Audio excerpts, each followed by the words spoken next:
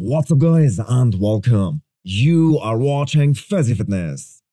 We haven't seen the mutant Nick Walker have this variation of abs and thigh shot ever before during his career. The main reason was his waistline. Now that they have put on enough muscle up top and have streamlined his physique, they have successfully created somewhat of an illusion of a smaller waist and Nick seems more and more confident hitting and releasing these shots.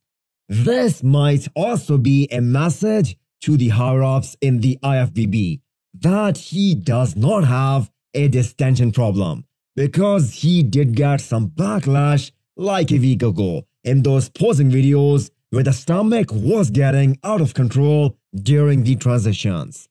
Nick Walker was 257 pounds five years ago. He is 260 right now, meaning Matt Jansen has increased his food. But he is still on the flat side. There is so much diversity in the open class bodybuilding. 2022 will be such a memorable year.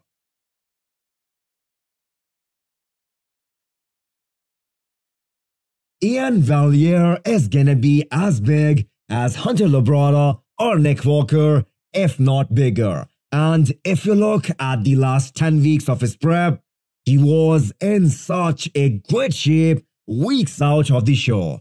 I have no doubt that Iain could have won Chicago Pro that was just a week after Vancouver Pro. But he chose not to compete simply because he wanted to give his absolute best to make his chances of cracking top 5 or 6 or maybe even hire more. That required more time for improvements.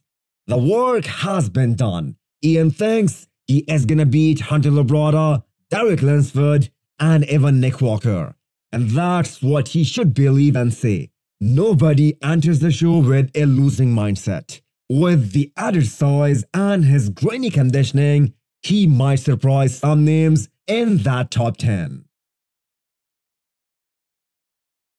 Milos has Samson beating Brandon at the upcoming Olympia. And Abdullah said Samson isn't beating Brandon in his dreams. So there is a guru war also going on right now. Nine days out pictures just released by the Nigerian Lion. What an incredible story Samson has.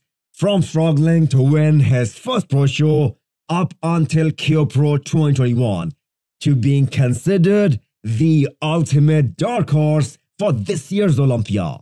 We all knew sooner or later his physique will be appreciated, and now is that time. While I do not think he can beat an improved Brandon Curry, I mean the judges clearly don't see it that way. Brendan was not great at the Arnold Classic this year, but let's not forget, he was the winner in the judges' eyes.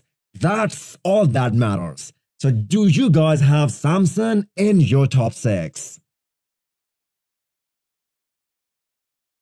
The classic physique king Chris Bumstead is looking shredded days out of the Olympia.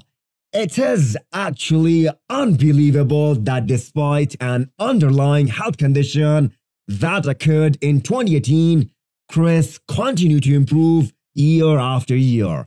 The abs are looking crispy and so is the back. He did a great job at bringing up his weak points. The only controversy there is this year is whether actually there is a bicep injury or not.